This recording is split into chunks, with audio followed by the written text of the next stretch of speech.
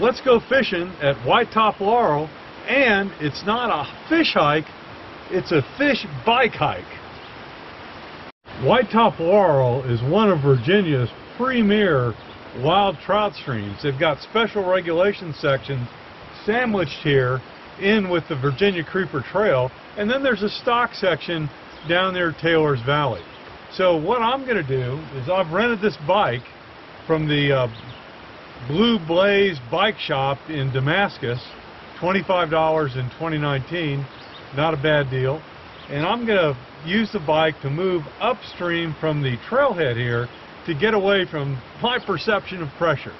So the key thing I need to do is organize all my stuff so I can transport it.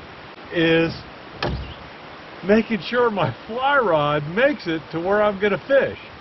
So what you do is you take your rod tube, assemble your fly rod, and now I'm going to strap the fly rod using cable ties to the crossbar on the bike. This is what the Virginia Creeper Trail looks like. It's an old rail bed that's been converted into a beautiful bike path. Very smooth, uh, not a lot of loose gravel. And the key thing for fishermen is you gotta pedal uphill. All the bikers will start at the top of the trail and they'll come down. So when you start in the morning, you're gonna go uphill and that way you won't run into the bikers until probably around lunchtime. Well, let's go get some fish. Check that out. Isn't that some nice water? Now the higher up you go, the narrower Whitetop becomes. What I like to do is bike in at least a mile to get away from the pressure at the trailhead and then start fishing. Each bridge is numbered and you can use that to understand where you are on the trail and for future reference where to come back to when you start catching fish. Each bridge offers an opportunity for deeper water. As a result of the bridge construction, typically there's a deep hole under each. In this case, we've got this nice structure here with a rock and a deep channel running down the far side. You need to fish all these spots, and I'm going to do that right now. The rod tube makes for an easy grab at your fly rod. Pull it out, put it together, start fishing.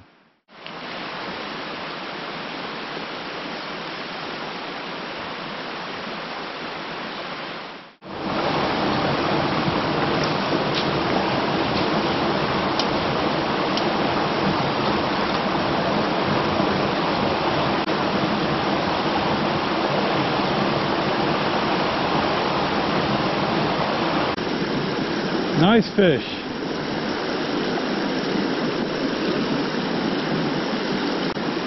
Oh, you can see him. Look at him. Look at him.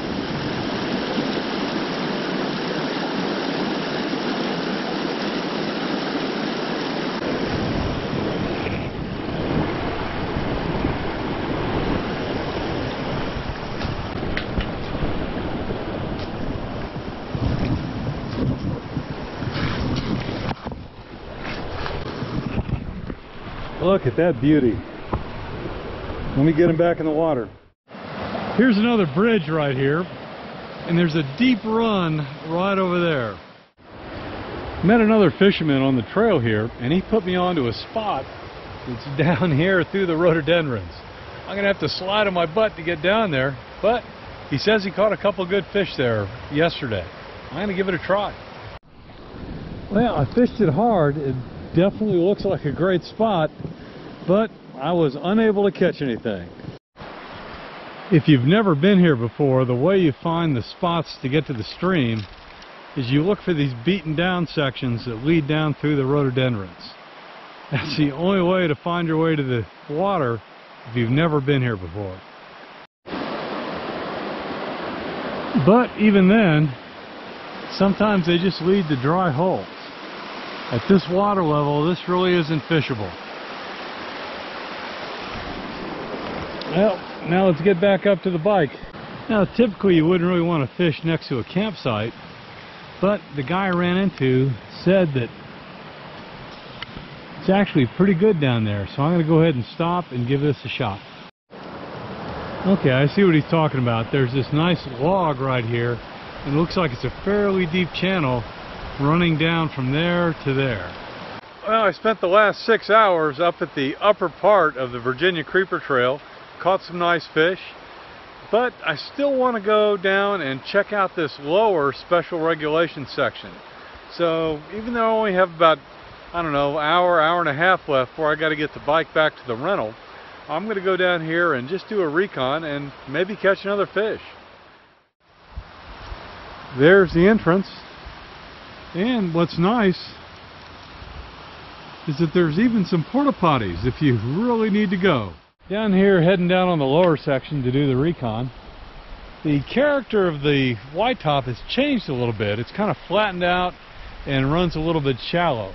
So what I'm going to do is I'm just going to drive down here and I'm going to look for the beaten pass off of the creeper trail.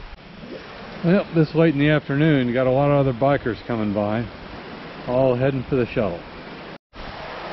So this is representative of what the water looks like down here. Real shallow, kind of a steep gradient, as you can see. Here's a little trail off the creeper trail. Let's see what's down there, see if the water's fishable.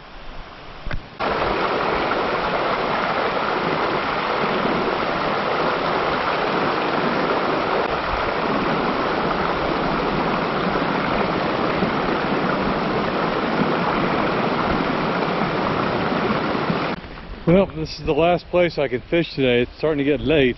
I'm amazed. There are actually stairs going down to this pool. So, I imagine it's been heavily fished, but it'll probably be a good place to wrap up for the day. I'm floating a dry fly with a dropper. Oh yeah, looks nice. Well, let's see if I can catch something. Well, it's running on 4 o'clock. Time to get the bike back to the rental shop, so I got to wrap it up. This looked like a great pool, but I was skunked. But at least I caught that one great fish. I'm grateful for that. And now you guys know what Whitetop looks like.